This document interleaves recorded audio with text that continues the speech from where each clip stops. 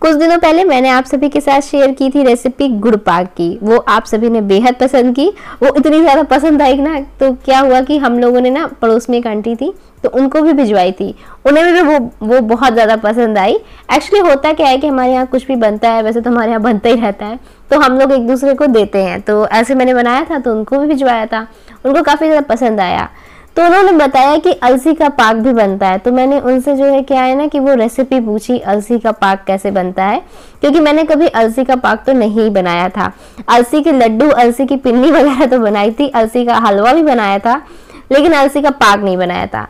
तो उन्हीं की ये रेसिपी है, मैं आज आप सभी के साथ में शेयर कर रही हूँ।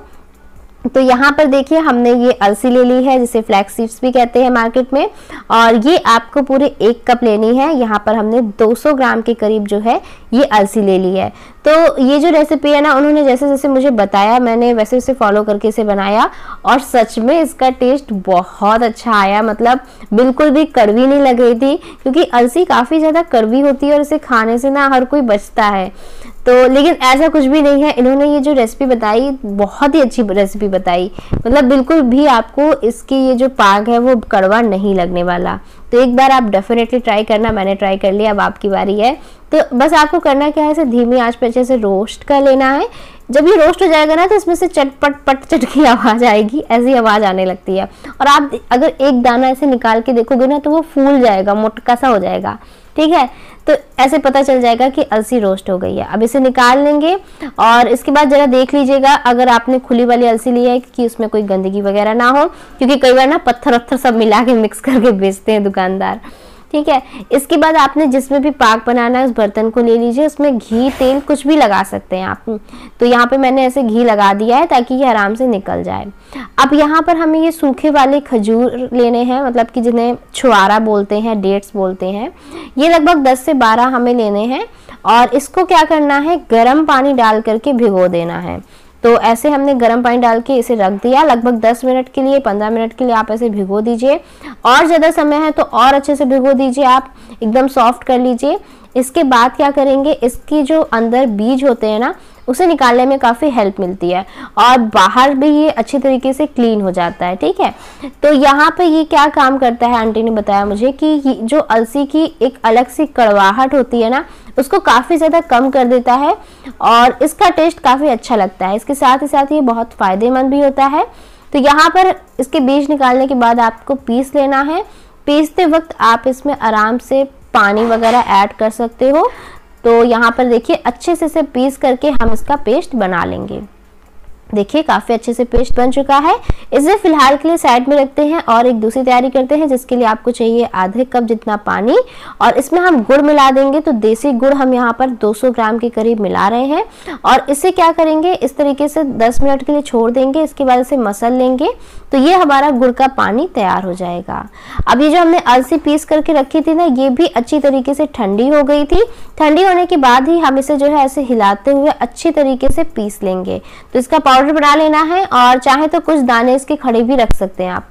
अब हमें लेना है एक बड़ी सी कढ़ाई, पैन, कुछ भी आप ले लीजिए जिसमें भी आपको पाक बनाना है।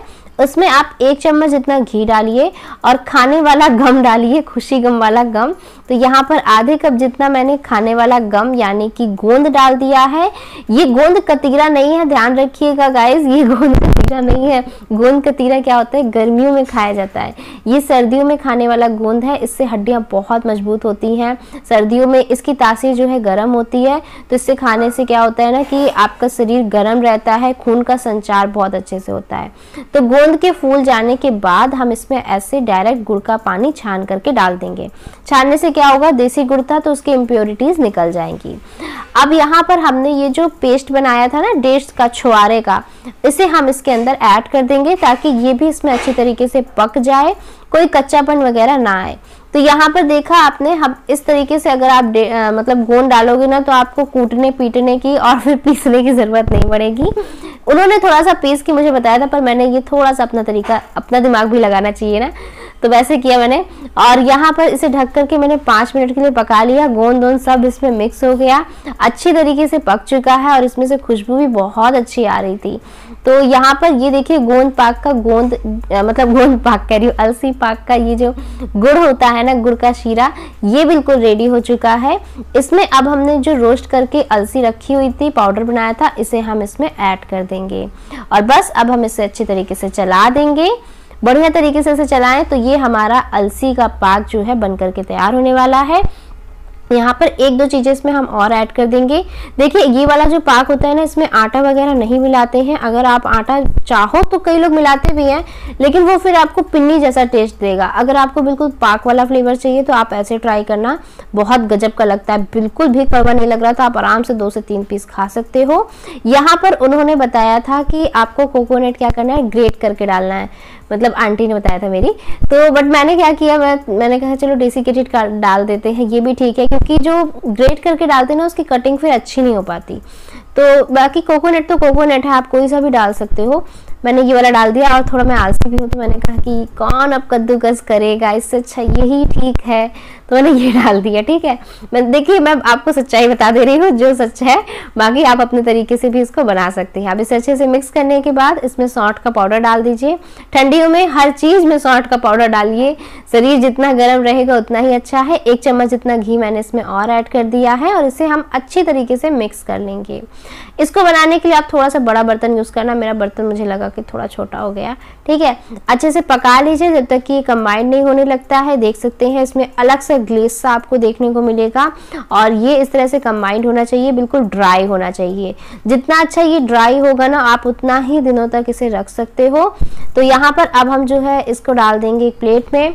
तो गाइज़ मैं आपको बता दूँ, अलसी में होता है एंटीऑक्सीडेंट ये हमारे शरीर के लिए बहुत ही ज़्यादा फ़ायदेमंद होता है। इसके साथ ही साथ, एक चीज़ जान लीजिए कि जो प्रेग्नेंट वुमेंस हैं, उनको जो है ये ज़्यादा नहीं खाना है। आप मुश्किल से एक या आधा पीस खा सकते हैं, बस उससे ज़्यादा नहीं खाना। बाकी बुज़ुर्गों के लिए बहुत अच्छा है डायबिटीज़ वालों के लिए बहुत अच्छा है, वो भी खा सकते हैं। और क्योंकि हमने इसे गुड़ से बनाया है तो कोई भी दिक्कत नहीं होगी। इसके अलावा जिनका जो है ब्लड प्रेशर की प्रॉब्लम है, वो बिल्कुल भी ना खाएँ। ठीक है? मैं बता दे रही हूँ इससे हानियाँ भी होती हैं। ज़रूरी नहीं कि हर जड़ी बूटी हर इंसान को फ़ायदा कर जाए। ठीक है? बाकी अलसी एक नॉर्मल अगर आप इंसान आपको कोई आ, मतलब ऐसे कोई दिक्कत दिक्कत नहीं है। तो आराम से खाइए दो तीन पीस कोई दिक्कत नहीं है। दूध के साथ खाने में और भी अच्छी लगती है ये बर्फ़ी। कड़वाहट की गारंटी है कि बिल्कुल भी नहीं आएगी। अगर जरा सी भी कड़वाहट आए तो आप मुझे कमेंट करके बता देना। लेकिन इस तरीके से ना आपने बिल्कुल भी कड़वाहट नहीं आने वाली है। अगर आप खाली अलसी की पिन्नियाँ बनाते हैं तो वो काफ़ी कड़वी होती हैं। तो एक बार आप ऐसे ट्राई करना, आपको बेहद पसंद आएगा। ये मुझे आंटी का तरीका काफ़ी अच्छा लगा। तो कहते हैं ना कि हर किसी के पास सारी रेसिपीज़ नहीं होती, कुछ इधर से, कुछ उधर से। तो ये आंटी की जो रेसिपी थी, मुझे बेहद पसंद आई। और उन्हें मेरा गुड़पाक पसंद आया। तो बस दोनों ने एक एक एक नई नई चीज़ें सीख ली। अब यहाँ पर मैंने ऊपर से डेसिकेटेड कोकोनट भी डाल दिया है, अब इसे हम आराम से ऐसे निकाल लेंगे। देखिए, आराम से निकल रहा है, कोई दिक्कत नहीं होगा। सेट बहुत अच्छे से हो जाती है, बस आपने इसे अच्छे से पकाना है तो आराम से सेट हो जाएगी ये। और हमारी एक एक पाक जो है, आप देख सकते हैं, निकल करके तैयार हो गया है। तो इसे आप खाइए, खिलाइए सर्दियों में बनाइए, बहुत फ़ायदेमंद तो मैंने बता ही दिया होती है। इसके लिए आपकी डाइजेशन के लिए भी अच्छी होती है, शरीर को गर्म रखती है तो डेफिनेटली ट्राई कीजिएगा सर्दियों में। बाय बाय अपना ध्यान रखिए।